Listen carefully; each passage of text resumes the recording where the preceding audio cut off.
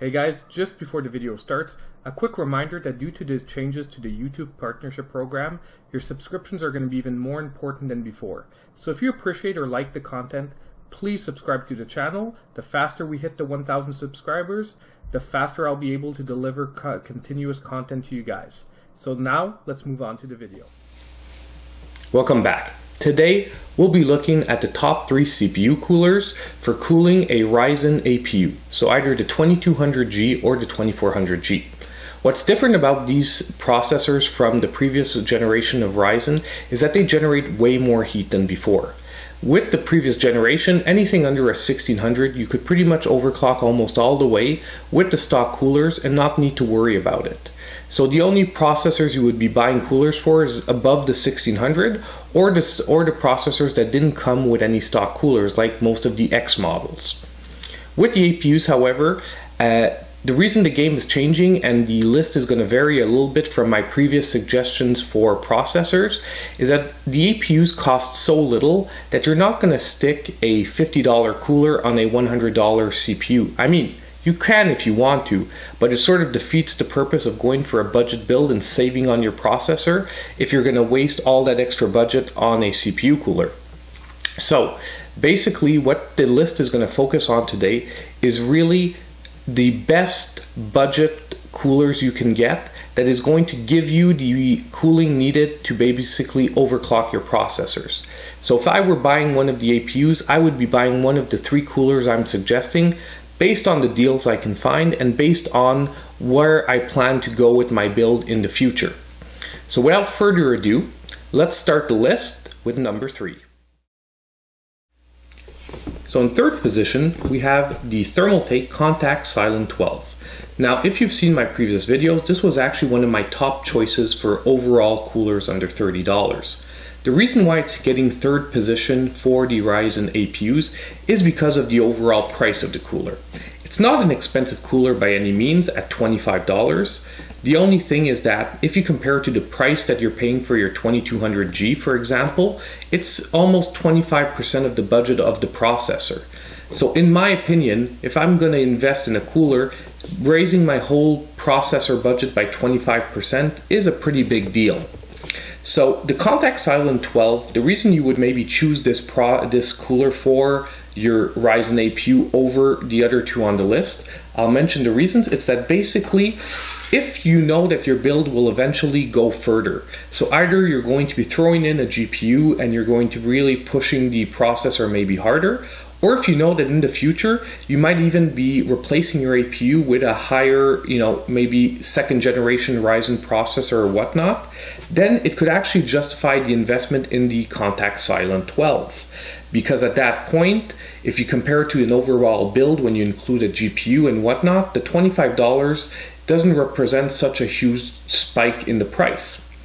Now, another reason you could also choose the Contact Silent 12 is because in all the options that we have today, if you include the LNC, which is their addition for lowering the fan speed and the fan noise, it's overall one of the most silent coolers you can get for under $30. It hits only 37 decibels, which was easily 7 or 8 decibels underneath the, you know, second best option, which is actually pretty significant in the noise department. So that could be another reason for selecting the Contact Silent 12, and it's also why it's on this list in position number 3. So, next, let's move on to number 2. At number 2, we have the Cooler Master Hyper T2. Now, the reason why the CPU cooler is actually hitting position number 2 on our list is because since I've reviewed it, it's had a significant price drop on average. Normally, the CPU cooler could be found around 20 to $25, but currently you can regularly find it for around $15. And at $15 with the performance it offers, honestly, it is a good buy if you're going with a Ryzen APU. It really gives really good cooling the only downside to this cooler, and the reason why it couldn't hit number one on our list, is that it's also one of the noisiest coolers I've tested. It easily hits above 50 decibels if you have to push the fan to 100%, and it's really disappointing because it's one of the smaller fans on of the coolers I've tested as well. So I was expecting the noise level to be a lot lower than it was.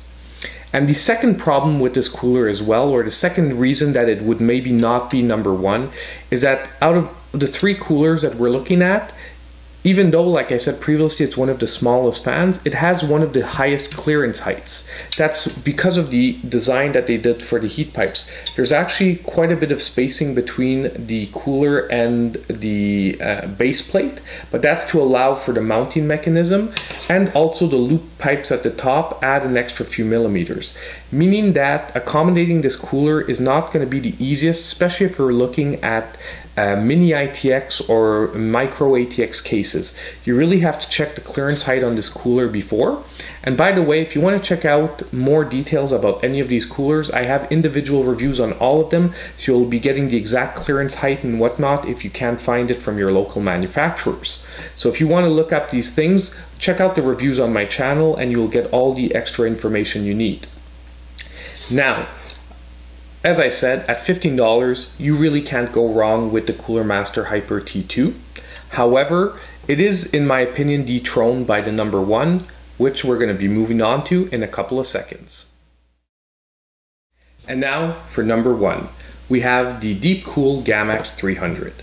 Now this cooler is a overall excellent performer, and for the price, which will surprise you probably. Now the normal MSRP on this cooler is $20 placing it just slightly above the Hyper T2 on average. However, if you wait for deals, you can regularly find this cooler for as low as $10, like somewhere in between 10 and $15 on average. So, the re- and the reason why it really takes position number one is that it's sort of combining the best elements of the previous coolers. It's not quite as quiet as the Contact Silent 12, However, it's at least a good 10 decibels under the, the Cooler Master Hyper T2, putting it somewhere on in my tests around 44 decibels. Once again, as I mentioned previously, if you want more in-depth reviews of any of these coolers, check them out on my channel. They are all there. At the same time, it has one of the lowest clearance heights in the coolers offered at this level, and it offers a large 120 millimeter fan.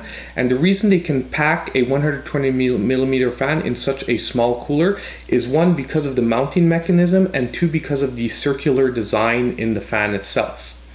And honestly, for 10 to 15 dollars, the performance you're going to get out of this cooler is going to easily keep your Ryzen APU under 60 degrees. By the way, any of the coolers so far on the list if you have a even a decent to good airflow design in your case or setup, you should easily be able to keep your Ryzen APU fully overclocked easily under 60 degrees, which for a Ryzen APU is a very safe temperature and you will not have to worry about any early degradation in my opinion. So if I was choosing today a cooler for my Ryzen APU, my first choice would really be the Deep Cool, unless I mentioned earlier for my region, I wouldn't be able to find it. I would turn to the Hyper T2. And if I was looking for, uh, you know, eventually upgrading my build and going with something bigger, well, then I could actually justify including the extra 10 bucks and going grabbing myself a Thermal Thermaltake Contact 12. Now, there is one last cooler that we're going to look at, which is a sort of honorable mention for someone looking at an extremely, you know, small build. So Keep tuned for the next few seconds. We're going to move on to our honorable mention, which is a cooler that I think a lot of people overlook. But if we're looking at a mini ITX and we really have to get the lowest clearance possible, could be an option to look at. So for the honorable mention, we have the Ice Edge Mini version 2.0. Now, the reason why this cooler was not able to get into the top three is simply because the performance on it is lower than the other ones we looked at. While the other ones will, as I said earlier, normally keep your CPU, you know, your APU somewhere around 60 degrees Celsius, um, this one will unfortunately you'll lose about I would say between four to five degrees of performance. So your APU will probably be more in the mid 60s, which is still technically a safe temperature on Ryzen. But if you live in a hot climate, or if, for example, maybe your case or your setup doesn't have great airflow, you could sometimes run into some thermal trouble with your system, which is why it couldn't make the top three. However, it is, in my opinion, the only decent option if you're looking at a very low clearance build. The closest option, the closest clearance on a cooler before this one was the Gammaxx 300 at about 135 millimeters high. Now the clearance on the Ice Edge Mini is only 112 millimeters, which is pretty darn low for a tower style cooler. And I'll be honest with you guys, none of the budget options on the really low profile coolers, which are generally downdraft coolers, none of them was re- were really able to uh, do better than the stock Ryzen coolers without going into the like $50 models, sort of a, um, you know, some of the more expensive downdraft coolers that are available on the market. So basically, if you're looking at a mini ITX build or a micro ATX build, the other coolers aren't fitting. Uh, do look at the Ice Edge Mini, see if you can get the clearance for the 112 millimeters, because this will cool your system as long as you have decent airflow around it. And honestly, for the price, which is only about 12 bucks, it is a decent cooler to look at for those really, you know, low profile builds. If you can actually fit this cooler in it, it's your probably honestly your best option for a Ryzen APU unless if you don't want to have to pay at least $50 or more for a real high performing downdraft cooler. So I hope this list has helped you guys. Uh, you know, as I mentioned at the beginning of the video, any likes and subscribes really do help the channel a lot. And as usual, I hope I'll see you guys in my next video.